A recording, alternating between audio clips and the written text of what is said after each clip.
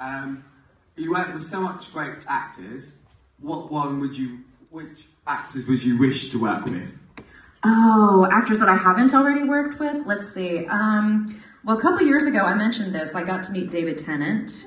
He's amazing. Um, I, I love Olivia Colman so much. Uh, but I honestly think that working with Daniel Radcliffe would be really fun because he actually kind of looks like my brother. Like, he looks a little bit, we, we, we're both very short. We both have dark hair and light eyes. We have the same, uh, like, we're both, we're both half Jewish and half Irish.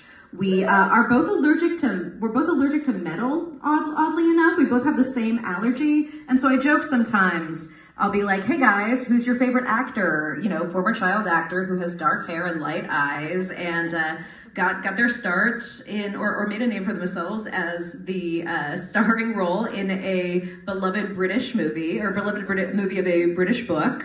I'll just be like, "Who's your favorite?" It's him, isn't it? It's Daniel Radcliffe. So yeah, my friend suggested uh, the two of us do 12th night together. That would be fun. I would love to work with him. Love it. Give a massive round of applause for our final question. We'll get in touch with JK. Yeah, I mean.